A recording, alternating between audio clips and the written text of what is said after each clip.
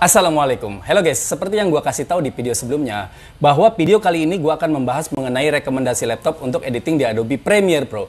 Banyak sekali yang mempertanyakan laptop seperti apa sih yang support untuk bisa kita gunakan dalam edit video menggunakan Adobe Premiere Pro. Ya, gue di sini tidak ngomongin mereknya apa aja yang bagus ya, karena pada dasarnya semua merek tidak berbeda jauh. Namun, yang membedakan adalah speed prosesornya.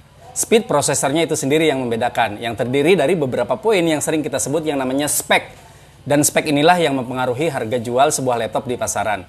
Oke, ngomongin masalah rekomendasi laptop untuk editing di Adobe Premiere Pro, tentunya kita harus tahu dulu guys, poin-poin yang terkait di dalamnya, yaitu prosesor, RAM, hard disk, dan juga Windows apa sih yang dipakai gitu. Oke, kita langsung saja ke poin yang pertama, yaitu prosesor. Prosesor terdiri dari dua jenis, yaitu Intel dan AMD. Prosesor yang support untuk Adobe Premiere Pro untuk Intel gunakan minimal Core i3 dan untuk yang AMD gunakan minimal yang sudah recent. Idealnya recent 3 ya.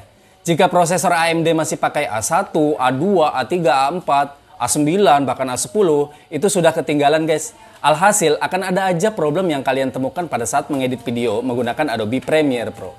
Lanjut ke poin yang kedua yaitu RAM. Untuk mengoperasikan Adobe Premiere Pro dengan baik di laptop kalian, gunakan RAM minimal 8 GB dengan PGA card 2 GB. Karena PGA ini berfungsi untuk penyimpanan khusus dalam menampilkan display gambar pada sebuah video agar gambar tidak patah-patah dan sebagainya. Lanjut ke poin yang ketiga yaitu hard disk. Untuk menggunakan Adobe Premiere Pro, kalian bisa menggunakan hard disk HDD minimal 500 GB dan idealnya 1 tera atau kalian juga bisa menggunakan hard disk SSD minimal 256.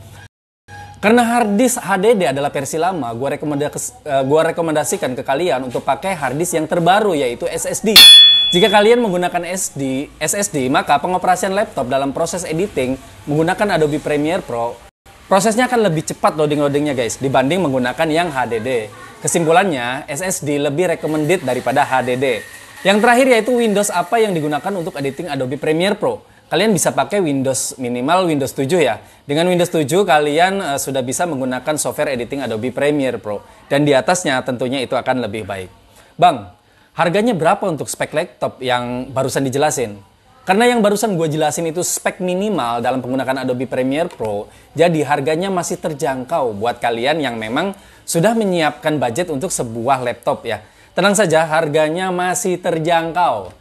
Nah, jika isi kantong kalian benar-benar minim banget ya budgetnya, tapi udah nggak sabar nih, kepengen banget beli laptop agar bisa uh, menggunakan software editing Adobe Premiere Pro. Ya kayak gue pengalaman dulu ya, gue juga sama dompet gue tipis banget, tapi pengen punya laptop untuk editing Adobe Premiere Pro. Ya kalian bisa pakai laptop seperti apa yang gue pakai ini guys.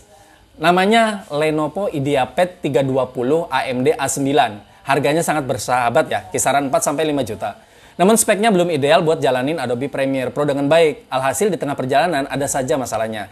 Tapi selama gue masih bisa mengatasinya dan belum cukup budget untuk membeli yang lebih, gue manfaatin aja guys yang ada untuk spek laptop seperti punya gue ini ya silakan aja ya browsing-browsing ya kalian.